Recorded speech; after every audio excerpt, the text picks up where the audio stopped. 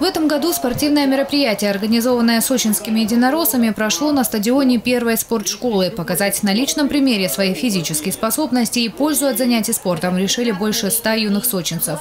Все они воспитанники районных спортивных школ. Сегодня они выполняли пять видов упражнений Всероссийского культурно-спортивного комплекса «Готов к труду и обороне». Это у нас мероприятие традиционное. Каждый год день э, защиты от наркомании мы это мероприятие проводим. С каждым годом количество ребят, которые принимают участие, становится все больше и больше. И, конечно же, мы уверены, что и в дальнейшем это мероприятие будет одной из самых значимых в летней оздоровительной кампании среди наших замечательных детей. В числе испытаний прыжки в длину, наклоны, челночный бег, упражнения на пресс и отжимания. В нормативах ГТО оно значится как сгибание, разгибание рук в упоре лежа на полу. За правильным выполнением упражнения следят судьи.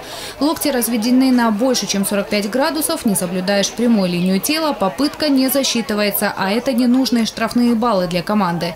Даже тхэквондистке Эрике Эрфле отжаться 15 раз было сложно сложно. На самом деле самое трудное это было отжимание, потому что как бы все мышцы напрягаются, но для девочки это тяжело. Я думаю, все хорошо сделали, потому что мы готовились к этому всей командой. В каждой команде по 10 человек. Так называемый золотой знак ГТУ участник получает, если сдает норматив. Это один балл. Не смог пройти испытание, получил 5 баллов. Та команда, которая э, получит наименьшее количество баллов, э, будет э, признана победительницей. То есть, э, соответственно, на каждом, э, на каждом виде испытаний э, есть у нас инструктора, которые принимают, э, отмечают в карточках участников, подсчитывается количество баллов и производится награждение команд третьего, второго, первого места.